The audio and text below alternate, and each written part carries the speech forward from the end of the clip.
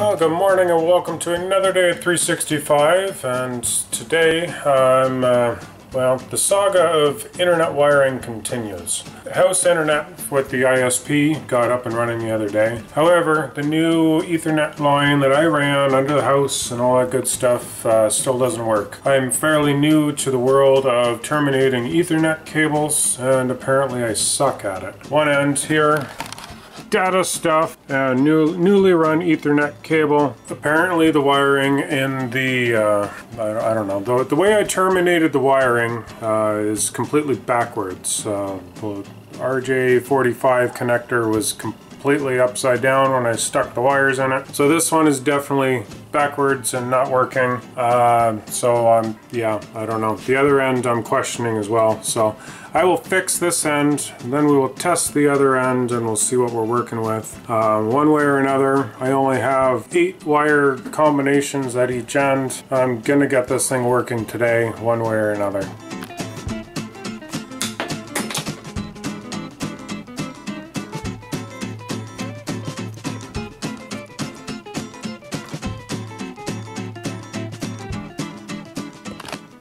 Alright, that there I believe is the correct configuration. Now I just need to make sure that the connector is the right way up this time and all should be well on this end of the line. Alright, cables are in the right order. Um, they're stuck in the jack. It's time to do some crimping now. that should do it. We'll take it out and we'll test it and see what happens. Well, I re-terminated the end in the closet properly this time. Uh, got everything wired up and we're going to give it a test. So we uh, use VoIP. Um, so home phone hasn't been working without internet. So I'm going to try from my cell phone. I'll try calling the home phone and see if it works.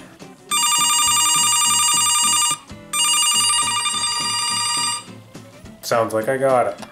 Well, the data cabling's done. I'm on to working on the coaxial cable again. I attempted to get the HD antenna installed on the weekend, and it turns out that the antenna that I purchased was missing the transformer. I have ordered a replacement transformer, because it's a lot cheaper to just order a part than it is to, like, replace the entire frickin' antenna. So hopefully that arrives in the next day or two, but in the meantime I'm going to finish the interior cabling. Um, somewhere in the abyss, I have a Channel Master signal booster that I need to find and get installed in the house. That is a critical component for me to get everything up and running. So I get to go digging and see if I can find it.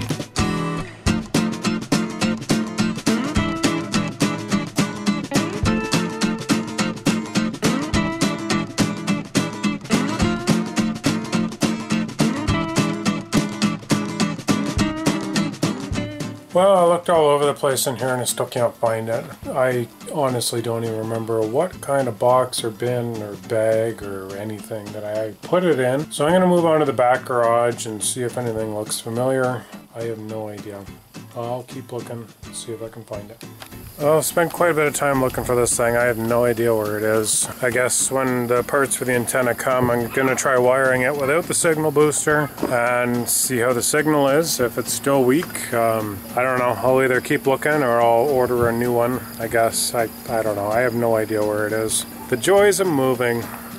Hi guys, I actually haven't been in the vlog at all today. It is time to deal with this. I've cut John's hair on the vlog before, it's just a time lapse, but I'm gonna actually tell you today how I do this. I have been cutting John's hair since he was a baby, since his very first haircut. I've been cutting Brian's hair for 11, 12 years at this point, 10 years at least. Since I was a baby too. and, uh, so yeah, I literally just use clippers. This is the easiest way you can do a boy's haircut. I use clippers, I use the, the guards, just as they come and I don't use scissors at all, like almost ever. John kind of likes his hair a little bit longer now. So I think I'm gonna have to start using scissors, but for now I'm gonna show you how I do the absolute easiest version of a DIY at-home haircut. It could not be easier. You'll probably be a little, I don't know, trepidatious about it the first few times, but you get used to it, you get real comfortable. It's not hard at all, and I'm gonna show you how I do his at-home haircuts. All right, first, I start with a number two clipper and I do this part of his hair, the back and the sides, and I only come up a little bit.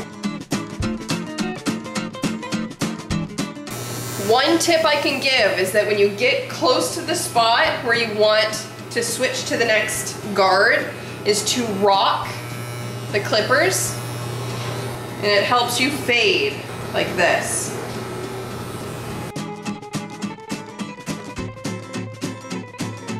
All right, next I'm switching to a number five guard so I can do a gradual fade into the longest part of his hair. And again, I am rocking as I get close to the longest part of his hair.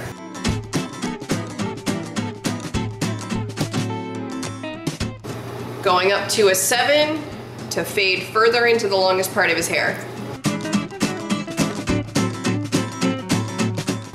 Okay, so most clipper sets only go up to a size 8. And if you're doing just a straight up cut, you'll just do the rest of the hair with that guard and the whole top will be that length. I'm gonna do another round of like gradual and rocking because he's been wearing it a little bit longer lately and I really want the absolute top of it to stay a little bit longer and then I'm gonna hit the bangs with some scissors.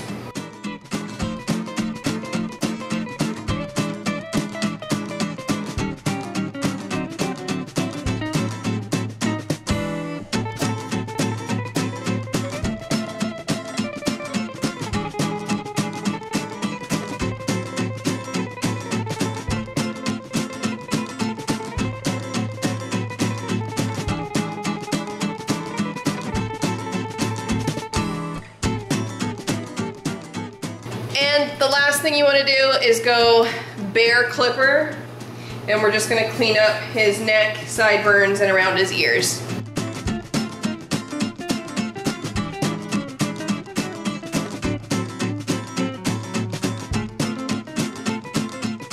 And that's it. That's how you do the easiest DIY back to school haircut at home there is.